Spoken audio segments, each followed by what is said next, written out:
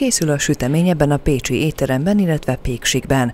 A vendéglátóhely munkatársai egész héten húsvéti finomságokkal kedveskedtek a vásárlóknak, de újabb és újabb adagok kerülnek ki a sütőkből. Természetesen a, a fonott kalácsok, a, a, a különböző, különböző torták, répatorta, pavlova torta, gyümölcse, rózsavízzel, és egy ilyen olasz, olasz típusú gyümölcskenyérrel is készülünk.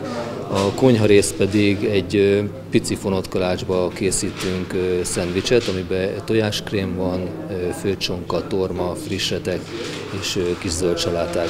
Ezeket a húsvéti különlegességeket a hosszú hétvégén is megkóstolhatják az érdeklődők. Házhoz szállítást nem vállalunk, előrendelésre ezeket a, a tortákat, kalácsokat, stb. azt meg lehet rendelni, és itt helyben is nyilván, hogyha bejön a, a vendég, akkor vásárolható is.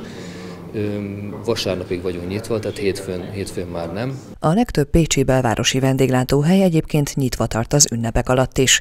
Bár húsvéti menüvel külön nem készülnek, de így is megtalálhatják számításaikat azok, akik nem szeretnének otthon főzni.